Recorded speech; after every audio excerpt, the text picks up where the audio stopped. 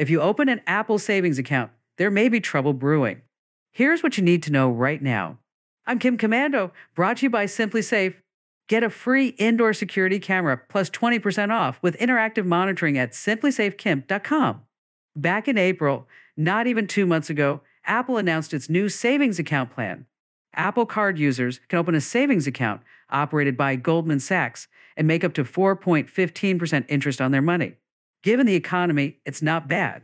But the Wall Street Journal reports that a number of Apple savings customers are having trouble getting to their money.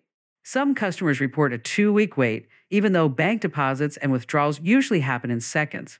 No one is quite sure what's going on. But in my opinion, if there's any delay in withdrawing your money from any bank, you should fear the worst. I'm Kim Komando. Try my free daily newsletter at getkim.com. That's getkim.com.